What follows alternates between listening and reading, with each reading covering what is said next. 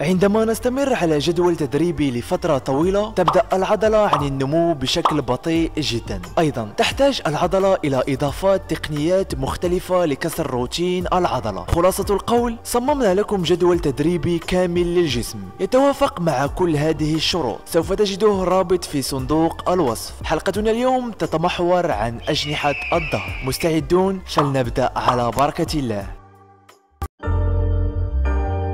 في هذا الجدول التدريبي سوف نبدأ مباشرة بالتمارين الحرة. خذ دمبل تستطيع عمل به تكرارات ما بين 10 إلى 12 تكرار. طبعا عند البدء بهذا الجدول التدريبي عليك الإحماء أولا لتفادي الإصابات. ابدأ الآن وكرر هذا التمرين ثلاثة مرات. فترة الراحة سوف ترتفع إلى دقيقة واحدة إذا كنت في فترة التضخيم.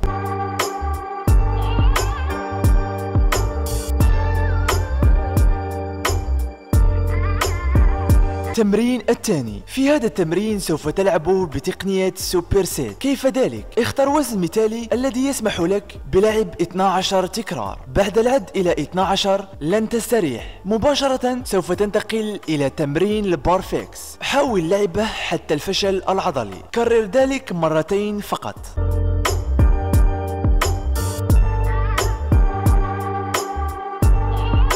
التمرين الثالث تمرين مفيد جدا لتعريض الظهر. أيضا يستهدف الكتف بشكل ثانوي وهو مفيد لمن يعاني من أكتاف مقوسة. احرص على ضغط عضلات عند وصول البار إلى خصرك. العب ثلاثة مجموعات والعب تكرارات ما بين 8 إلى 12 بالمناسبة أنا في فترة التضخيم أقوم بمشاركة كل وجباتي على حسابي على الإنستغرام. سوف تجده في صندوق الوصف.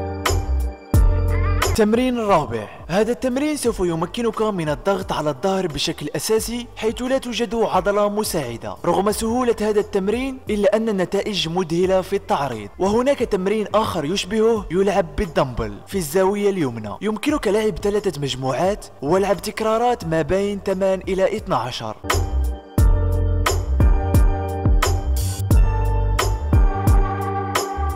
يمتاز هذا التمرين باستهداف زوايا الظهر الداخلية. أيضا يستهدف عضلة الكتف الخلفية بشكل ثانوي. وترابيست للعب هذا التمرين من الأفضل أن تكون تمرنت أكثر من شهر. العب ثلاثة جولات والعب عشر تكرارات إلى 12